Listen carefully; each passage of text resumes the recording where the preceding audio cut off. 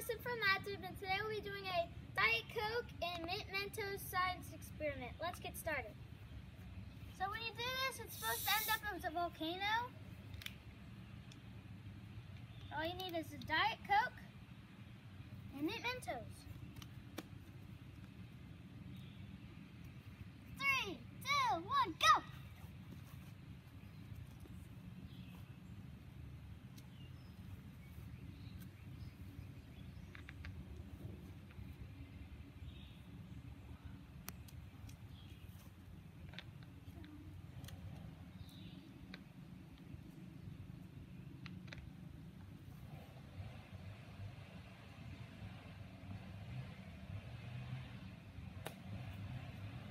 Well, that is our Diet Coke Mentos experiment. It wasn't as cool as I thought it'd be.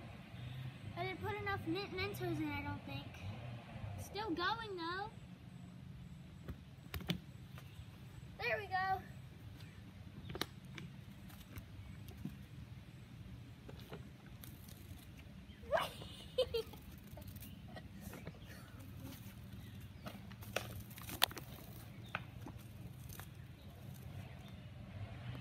There we go. That's our Diet Coke and Mint Mentos experiment. Hope you guys enjoyed the video. Please hit the like, subs- subscribe. Bye.